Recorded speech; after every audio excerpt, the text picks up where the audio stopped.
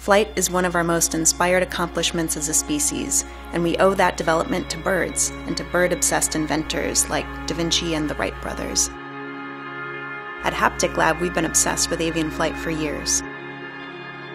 An ornithopter is a flying machine that uses flapping wing motion to fly, just like a real bird.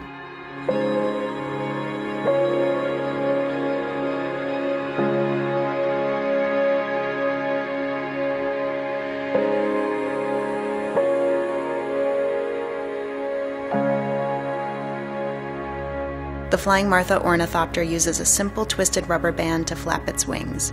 No batteries needed.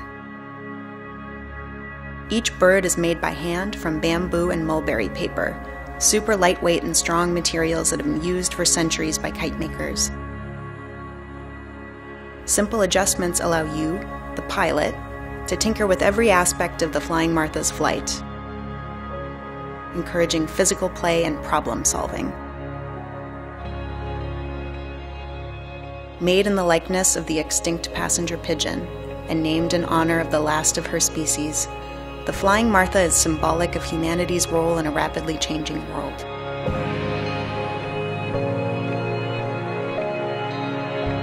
Like our other projects at Haptic Lab, the Flying Martha Ornithopter celebrates the spirit of invention and discovery essential to humanity's survival.